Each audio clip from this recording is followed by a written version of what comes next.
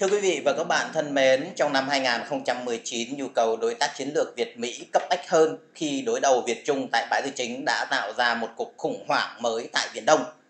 Từ 4 tháng 7 đến 24 tháng 10 năm 2019, Trung Quốc đã cho tàu thăm dò Hải Dương 8 và nhiều tàu chiến vũ trang 4 lần xâm phạm vùng biển Việt Nam, xô đẩy Hà Nội tiến gần với Mỹ. Ông Nguyễn Phú Trọng đi thăm Mỹ để tìm kiếm sự hỗ trợ và nâng quan hệ lên đối tác chiến lược nhưng việc đó vẫn chưa thành. Đây là một di sản của năm 2019 để lại cho năm 2020 như một khoản nợ. Trong dịp họp cấp cao Trung Kim tại Hà Nội tháng 2 năm 2019, ông Trung đã mời ông Trọng đến thăm Washington, dự kiến để thảo luận vấn đề Biển Đông và đối tác chiến lược Việt-Mỹ. Nhưng kế hoạch đi thăm Mỹ của ông Trọng vào tháng 7 và tháng 10 năm 2019 không khả thi vì lý do sức khỏe hoặc vì Trung Quốc phản ứng. Trong khi đó, ông Trung phải đối phó với nguy cơ bị Hạ viện bỏ phiếu phế chuất trong khi Quốc hội Mỹ ngày càng bị phân hóa sâu sắc. Cuối năm 2019, nhiều người lo ngại rằng Việt Nam đối phó khó khăn trước mối đe dọa Trung Quốc và không nâng cấp quan hệ Việt-Mỹ lên đối tác chiến lược sẽ khuyến khích cho Trung Quốc hành động liều lĩnh hơn tại Biển Đông. Chuyến thăm Việt Nam của Bộ trưởng Quốc phòng Mark Esper nhằm củng cố thêm lòng tin cho Việt Nam và ASEAN trước những hành động xâm lấn ngày càng trắng trợn của Trung Quốc tại Biển Đông. Trong diễn văn tại Học viện Ngoại giao Việt Nam 20 tháng 11 năm 2019, ông Mark Esper đã bày tỏ quan điểm cứng rắn hơn với Trung Quốc và ủng hộ Việt Nam Mỹ kiên quyết chống lại sự đe dọa của bất cứ nước nào áp đặt chủ quyền lãnh thổ hay hàng hải và kêu gọi chấm dứt sự bắt nạt và các hành động phi pháp khác tác động tiêu cực đến các nước ASEAN ven biển. Chúng tôi sẽ tiếp tục ủng hộ cố gắng của các nước đồng minh và đối tác đặc biệt là của Việt Nam nhằm bảo đảm tự do hàng hải và cơ hội phát triển kinh tế trong toàn khu vực. Các chuyên gia cho rằng điều đó là cần thiết nhưng quả ít và quá muộn. Vì Mỹ để cho Trung Quốc trỗi dậy làm chủ Biển Đông, lòng tin chiến lược của các nước khu vực và Mỹ đã bị sói mòn qua thực tiễn, trong khi Trung Quốc thấy đủ mạnh để thách thức Mỹ và tìm cách gạt Mỹ ra khỏi Biển Đông như cái ao nhà của mình. Về lâu về dài, Mỹ cần quay lại với TPP-12, nhưng trước mắt Mỹ và Việt Nam tăng cường hợp tác về năng lượng, như các dự án điện khí Sơn Mỹ tại Bình Thuận trị giá 5 tỷ đô la để giảm thiểu thâm hụt thương mại Việt-Mỹ và sự lệ thuộc quá nhiều của Việt Nam vào Trung Quốc trong bối cảnh đó, Việt Nam vẫn theo đuổi chính sách quốc phòng 30, không có căn cứ quân sự nước ngoài, không liên minh quân sự, không liên kết với nước này để chống nước khác. Mặc dù chính sách đó cần xem xét lại. Ngày 25 tháng 11 năm 2019, Việt Nam công bố sách trắng quốc phòng mới, nhấn mạnh định hướng hòa bình và tự vệ bằng hợp tác và đấu tranh, có đề cập đến căng thẳng ở Biển Đông nhưng sau 10 năm chính sách 30 nay được điều chỉnh thành 40, chưa áp đáp ứng và tương xứng với tình thế của thế giới. Nói cách khác, đó không phải là điều chỉnh chiến lược lâu dài mà chỉ là điều chỉnh chiến thuật trước mắt để đối phó tình huống. Có thể hiểu chính sách 40 là 30. 30 một nếu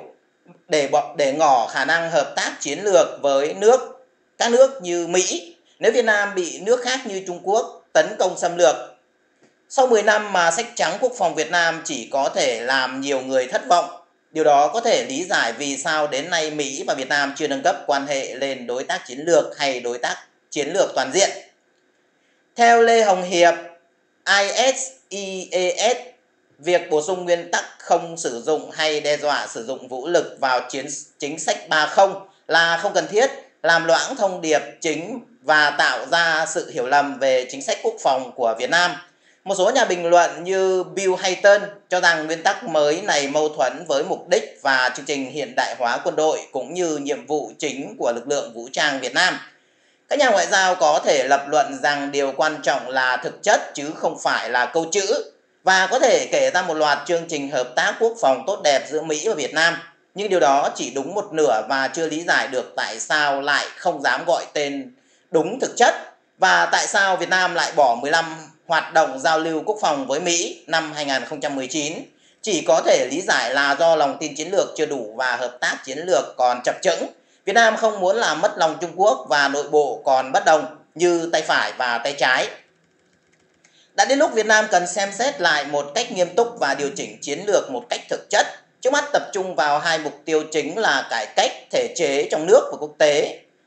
Quốc tế hóa tranh chấp tại Biển Đông, trong khi định hướng xã hội chủ nghĩa có thể cản trở sự phát triển và hội nhập quốc tế, thì chính sách quốc phòng 30 có thể cản trở việc bảo vệ chủ quyền và an ninh quốc gia. Nếu Việt Nam định gửi cho Trung Quốc một thông điệp về làn danh đỏ tại Biển Đông, thì thông điệp đó vẫn chưa đủ mạnh vì thiệu sự răn đe của Mỹ. Theo Paris Zakaria, CNN đồng thuận mới của Mỹ về Trung Quốc gồm 3 điểm chính. Một là thừa nhận chủ trương cộng tác với Trung Quốc đã thất bại vì không có tác động được vào chuyển biến nội bộ và thái độ đối ngoại của họ. Hai là chính sách đối ngoại của Trung Quốc hiện nay là hiểm họa lớn nhất đối với lợi ích của Mỹ và trật tự thế giới dựa trên luật lệ. Ba là tích cực đối đầu với đe dọa của Trung Quốc sẽ tốt hơn là cộng tác như trước đây. Theo Yoshi Koda, cựu tư lệnh Hải quân Nhật, Việt Nam tuy yếu hơn nhưng có thể vô hiệu hóa các cứ điểm mạnh của Trung Quốc trên đảo Wudi ở Hoàng Sa bằng cách triển khai các tàu ngầm lớp kilo để phong tỏa đường tiếp tế hậu cần cho đảo. Bờ biển dài của Việt Nam cũng tiện cho việc bố trí tên lửa đối đất, đối hạm để phong tỏa các căn cứ trên đảo Wudi và Hải Nam. Còn Philippines cũng thể cũng có thể bố trí tên lửa trên đảo Palawan để khống chế các cứ điểm của Trung Quốc trên các đảo Trường Sa. Nếu các nước yếu hơn làm được điều đó thì các cứ điểm mạnh của Trung Quốc tại Biển Đông sẽ trở thành đàn ếch bất lực trước những con rắn.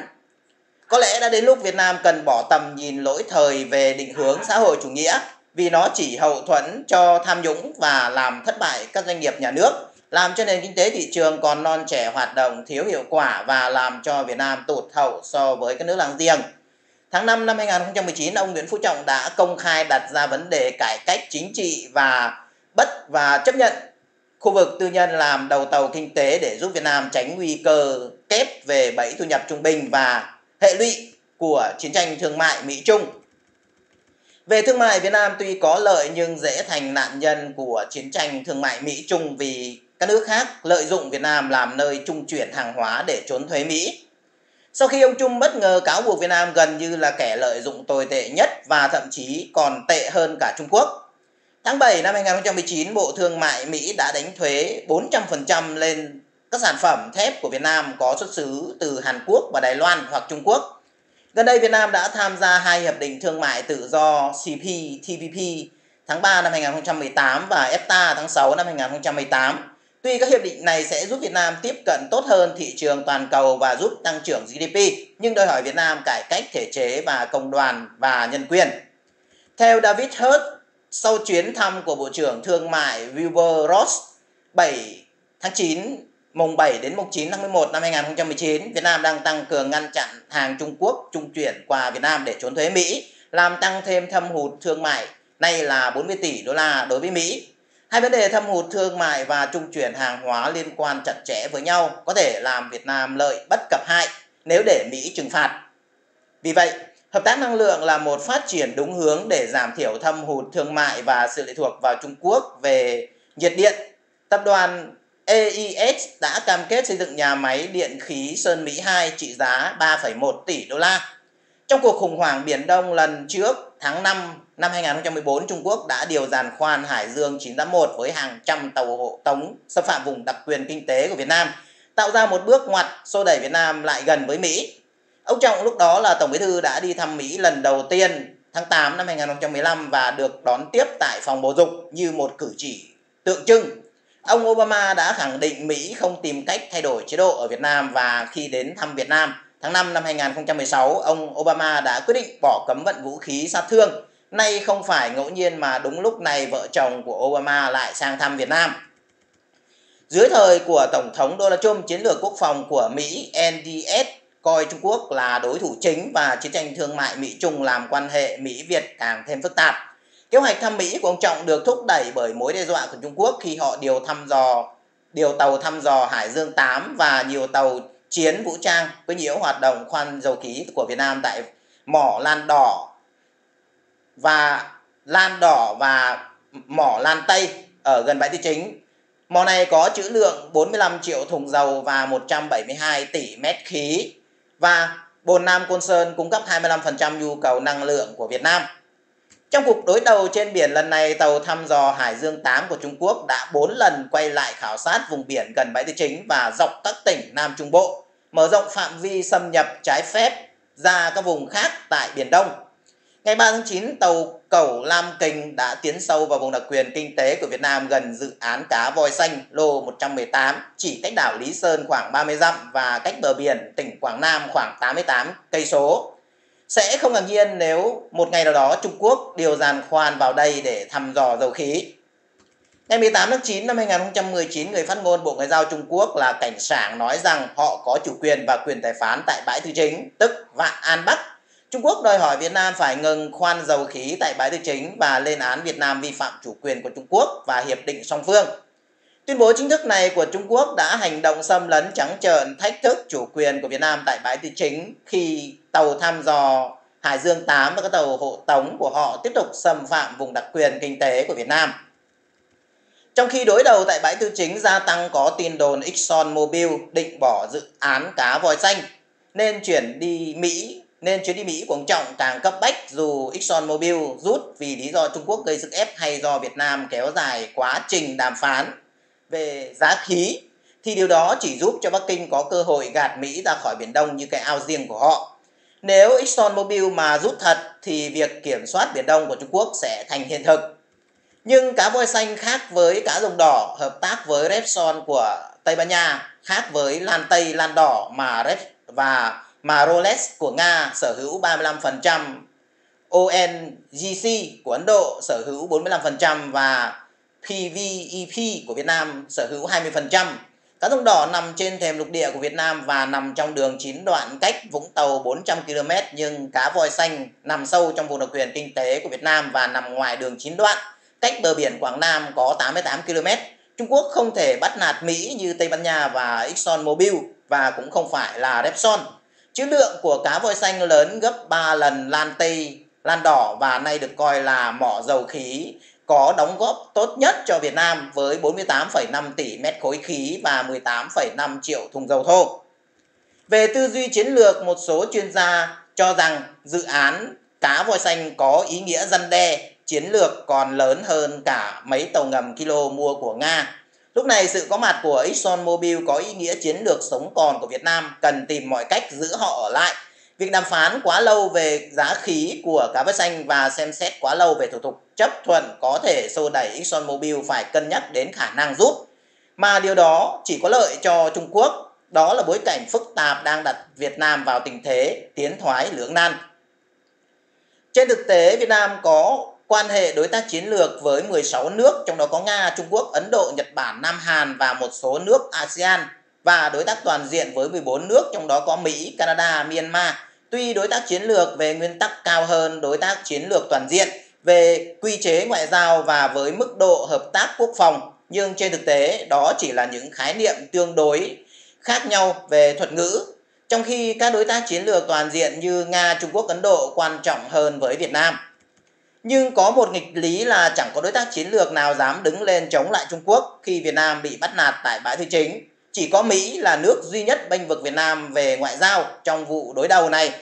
Tuy chưa phải là đối tác chiến lược, Việt Nam dễ bị tổn thương trước sự đe dọa của Trung Quốc nên sẽ hợp lý nếu Việt Nam trở thành đối tác chiến lược của Mỹ. Nhưng bước phát triển tất yếu này đã bị trì hoãn đến tận bây giờ vì Việt Nam vẫn lo ngại Trung Quốc phản ứng Mối đe dọa của Trung Quốc không chỉ bao trùm lên Biển Đông mà còn lên cả dòng Mekong và các nơi sung yếu khác quanh Việt Nam. Thế giới thay đổi bất thường và khó lường nên Việt Nam cần phản ứng linh hoạt với tư duy chiến lược đột phá nhằm tháo gỡ ách tắc và bước đi chập chững hiện nay để thoát khỏi ngã ba đường. Trước mắt có ba ưu tiên chiến lược hàng đầu. Một là cải cách thể chế và dân chủ hóa để tháo gỡ ách tắc và phát huy nội lực hai là thúc đẩy đối tác chiến lược với Mỹ, ba là quốc tế hóa tranh chấp Biển Đông và kiện Trung Quốc để tranh thủ sự ủng hộ của quốc tế. Đó là ba mục tiêu chiến lược cơ bản có thể bổ sung cho nhau, giúp Việt Nam phát huy tốt hơn vai trò Chủ tịch ASEAN và Ủy viên không thường trực Hội đồng Bảo an Liên Hợp Quốc trong năm 2020. Theo Bloomberg, 12 tháng 12 năm 2019, Trung đã ký duyệt thỏa thuận thương mại Mỹ-Trung giai đoạn 1 theo đó, Mỹ sẽ giảm 50% thuế trên 360 tỷ hàng hóa của Trung Quốc và không đánh thuế thêm 156 tỷ hàng hóa Trung Quốc. Sau ngày 15 tháng 12 năm 2019,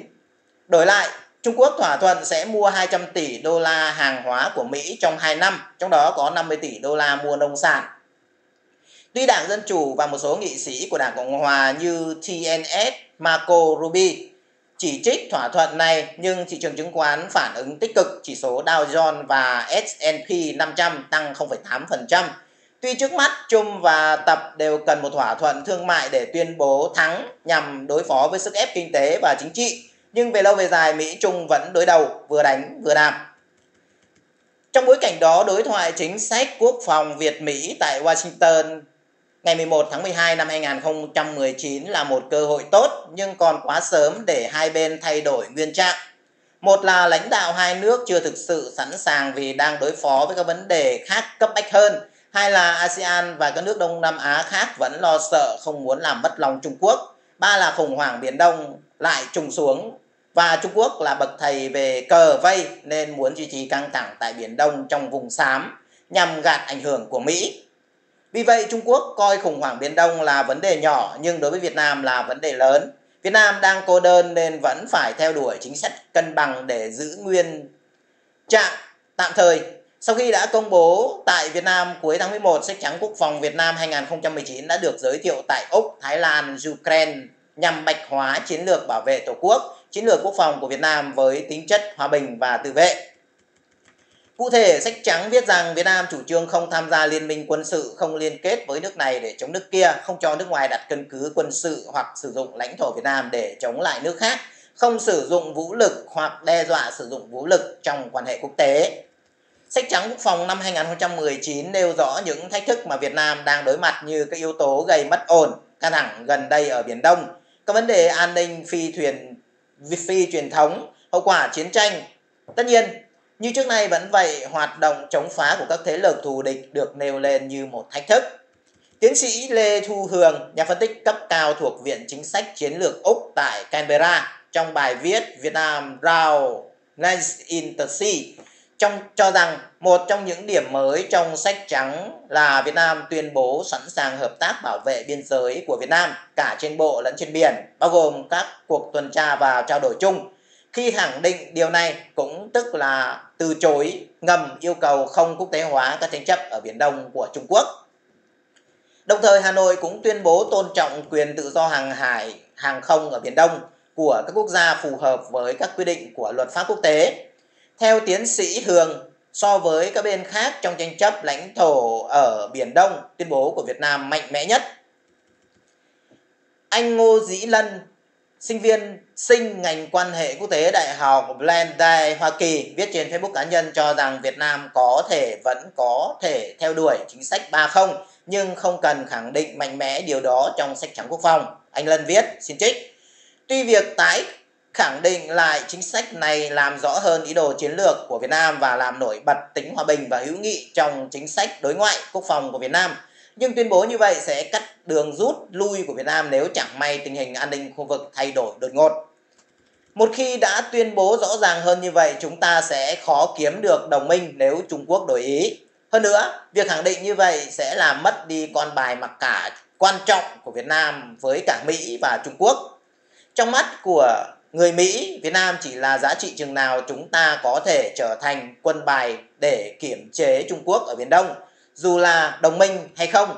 Ngược lại đối với Trung Quốc họ sẽ dè chừng hơn nếu họ biết rằng OF Việt Nam một cách quá mức sẽ khiến chúng ta buộc phải tìm kiếm đồng minh để chống lại họ.